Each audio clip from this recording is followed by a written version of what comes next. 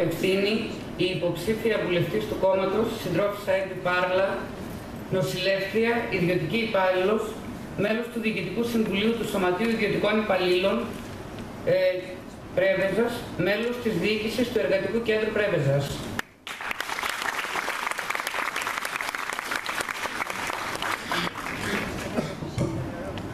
Φίλες και φίλοι, συντρόφισσες και σύντροφοι, στις 25 Γενάρη μπορούμε να κάνουμε ένα βήμα μπροστά, αφήνοντας πίσω τους εκβιασμούς και τα διλήμματα των κομμάτων της Ευρωπαϊκής Ένωσης και του εκμεταλλευτικού συστήματος. Μπορούμε να πράξουμε εύστοχα και με σιγουριά, με το βλέμμα στραμμένο στο μέλλον και στην επόμενη μέρα. Μόνο έτσι θα μπορούμε να σκεφτούμε καθαρά για το ποια δύναμη πρέπει να ενισχύσουμε την Κυριακή της Κάλπης και με το χέρι στην καρδιά να κάνουμε πολύ πιο δυνατό το κουκουέ. Γιατί την επόμενη μέρα θα είναι εδώ ο πραγματικός αντίπαλος. Η Ευρωπαϊκή Ένωση, τα μονοπόλια και η εξουσία τους, με ακόμα μεγαλύτερες απαιτήσεις από την εργατική τάξη, τα λαϊκά στρώματα, που έχουν ματώσει για να ικανοποιούν την ανάγκη για κερδοφορία και την ανταγωνιστικότητά τους. Την επόμενη μέρα θα είναι εδώ η νέα ΚΑΠ, η αντιαγροτική πολιτική της Ευρωπαϊκής Ένωσης, το ξεκλήρισμα της αγροτιάς, η βαριά φορολογία και η συγκέντρωση της γης σε όλο και λιγότερους. Ο ΣΥΡΙΖΑ είναι υπέρ της ΚΑΠ και της Ευρωπαϊκής Ένωσης και πουθενά δεν δεσμεύτηκε ότι θα καταργήσει τα άγρια μέτρα, π.χ. τον έμφυα στο σπίτι, στην αποθήκη, στο στάβλο, στη φορολόγηση στο χωράφι και το χαράτσι στον ΩΣΔΕ, στις γεωτρήσεις και αλλού. Την επόμενη μέρα, μία ακόμα κυβέρνηση αυτοδύναμη συνεργασίας, με κορμό είτε το ΣΥΡΙΖΑ είτε τη Νέα Δημοκρατία, θα συνεχίσει ακριβώς από εκεί που σταμάτησε η προηγούμενη και θα βαδίσει στα ίδια αντιλαϊκά μονοπάτια, ακόμα και με διαφορετική περπατησιά, τη στρατηγική της Ευρωπαϊκής Ένωσης, της ενίσχυσης των προνομίων των μονοπωλίων, του καπιταλιστικού δρόμου ανάπτυξης.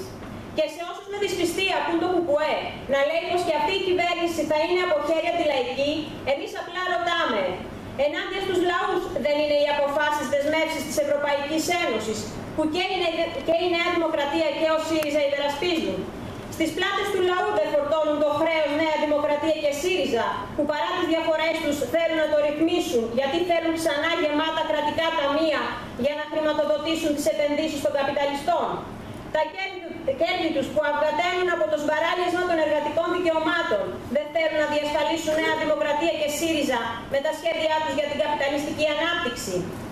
Το δίλημα ποια κυβέρνηση για ποια διαπραγμάτευση δεν είναι δίλημα που αφορά το λαό, αλλά δίλημα που αφορά τμήματα της αστικής τάξης, μονοπωλιακούς ομίλους, που είτε με επιμήκυνση χρέους που ζητάει η Νέα Δημοκρατία, είτε με κούρεμα, χαλάρωση της αυστηρής δημοσιονομικής πειθαρχίας, πιο επιτακτική πολιτική, που ζητάει ο ΣΥΡΙΖΑ, προσδοκούν να ανακάψουν τα κέρδη τους.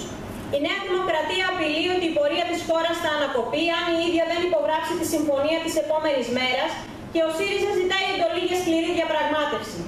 Τις συμφωνίες της Νέας Δημοκρατίας τις γνώρισε στο πετσί του ο λαός πληρώνοντας ακριβά το μάρμαρο. Συμφωνία όμως θα υπογράψει και ο ΣΥΡΙΖΑ και α αφήσει τα σάπια περί σκληρής διαπραγμάτευσης. Γιατί διαπραγμάτευση σημαίνει ακριβώς αυτό. Συμφωνία με όρους, δηλαδή μνημόνιο. Ούτε η Νέα Δημοκρατία ούτε ο ΣΥΡΙΖΑ μιλούν για ανάκτηση των απολειών και επιστροφή στα προ-κρίσης επίπεδα. Η 13η σύνταξη, και αυτή μόνο για τις συντάξεις ως 700 ευρώ που υπόσχεται ο ΣΥΡΙΖΑ, είναι ακριβώς το ποσό του κοινωνικού μερίσματος που υπόσχεται η Νέα Δημοκρατία για λίγους. Και κανείς δεν απαντά. Η 14η πότε θα επιστραφεί, ο 13ο και ο 14ο μισθός πότε θα επανέλθουν. Ακόμα και αυτός ο κατώτατος μισθός των 751 ευρώ, μέσα στην εργασιακή ζούγκλα που υπάρχει, το μόνο που μπορεί να κάνει επί της ουσίας είναι να συμπαρασύρει προς τα κάτω και τους μισθούς που σήμερα είναι ακόμα πάνω από τα 751. Και επειδή δεν είμαστε αφελείς, στην ερώτησή μας ποιος μεγαλοεργοδότης θα δώσει 751 ευρώ, στέλεχο του ΣΥΡΙΖΑ έσπευσε να καθησυχάσει τους με μεγαλοεργοδότες λέγοντας: Θα υπάρξουν αντισταθμιστικά ωφέλη. Όπως μείωση ή απαλλαγή από εργοδοτικές εισφορές, φοροαπαλλαγές και άλλα κερδοφόρα για τους καπιταλιστές. Άρα πάλι και αυτή η ρύθμιση, αν γίνει, τη μεγαλοεργοδοσία τελικά ωφελεί περισσότερο και όχι τους εργάτες και υπαλλήλους. Καμία κυβέρνηση δεν πρόκειται να δώσει πίσω στην εργατική τάξη ό,τι έχασε από το εισόδημά της, ό,τι έχασε από τις κατακτήσεις της. Γιατί ποτέ τα μονοπόλια δεν πρόκειται να δώσουν πίσω, με εξαίρεση ορισμένα ψίχουλα που θα πέφτουν από το τραπέζι τους, από αυτά που πήραν από τους εργαζόμενους, αυτά που τους έκλεψαν.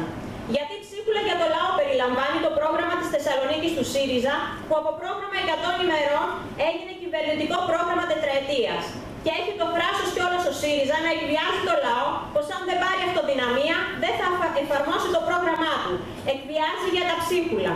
Και εμείς ρωτάμε, από πότε η ελπίδα για την εργατική λαϊκή οικογένεια ταυτίζεται με τα ψίχουλα, από πότε η ελπίδα για τον άνεργο είναι ένα πιάτο φαΐ με κουπόνια σύντησης, από πότε η ελπίδα είναι μια θέση εργασίας λίγων μηνών σε προγράμματα απασχόλησης των 300 ευρώ και με επιδότηση για τον εργοδότη, από πότε η ελπίδα του συνταξιούχου να μπορεί να ζει χωρίς να επιβαρύνει τα παιδιά του είναι το 1,38 ευρώ την ημέρα, η ελπίδα της εργατικής τάξης, του λαού και της νεολαίας του 2015 να έχει σταθερή δουλειά με δικαιώματα, να μπορεί να ζήσει με αξιοπρέπεια τα παιδιά της με δωρεάν παιδεία, υγεία, περίθαλψη, είναι να έχει ζωή με δικαιώματα και όχι χαμοζωή.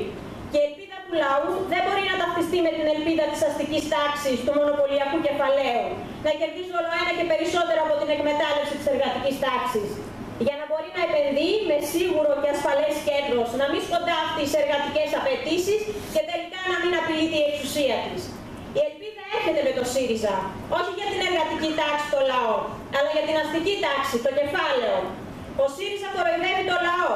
Για να βρεθεί στην κυβέρνηση και να συνεχίσει την αντιλαϊκή πολιτική, συνεργάζεται με στελέχη του ΠΑΣΟΚ που έχουν στηρίξει τα μνημόνια και τα αντιλαϊκά μέτρα, που ήταν υπουργοί ή διατηρούσαν θέσεις στον κρατικό μηχανισμό.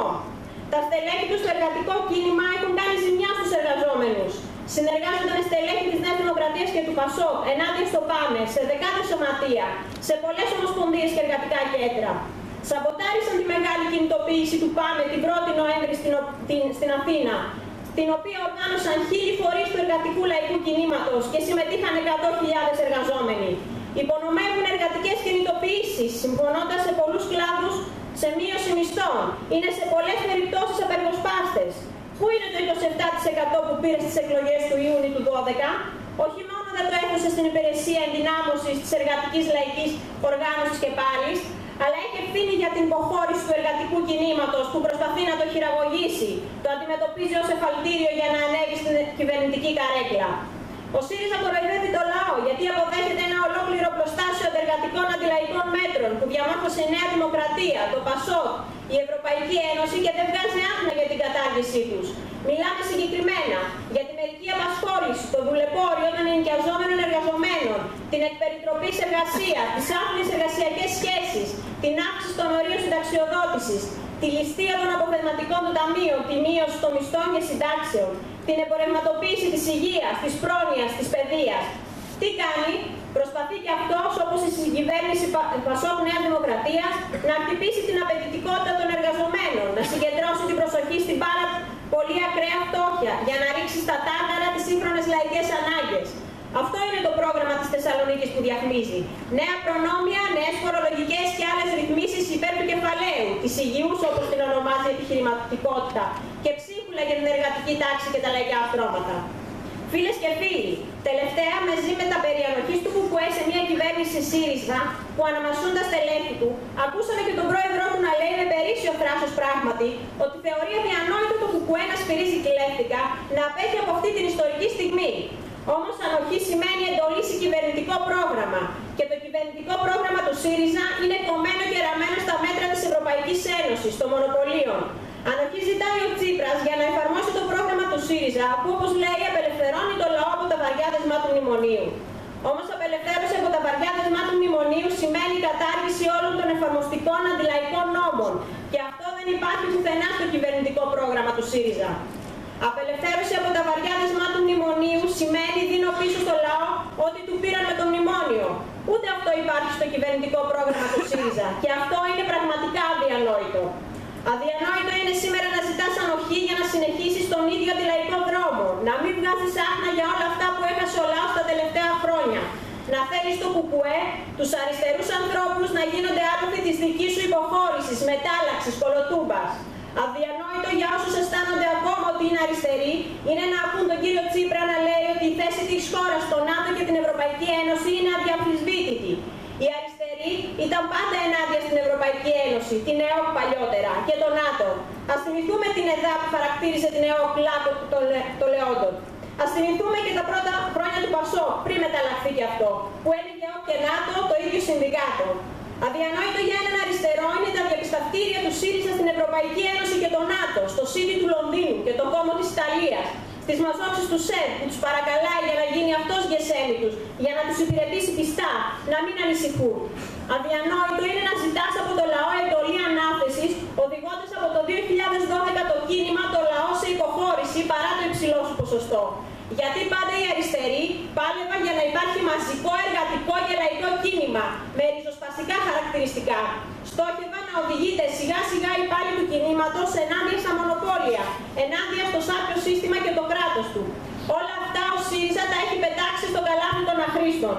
Για όλους αυτού τους λόγους θα ήταν αδιανόητο το κουκουέ να δείξει την παραμικρή ανοχή, γιατί τότε ο ίδιος ο λαός δεν θα έδινε καμία ανοχή στο κουκουέ.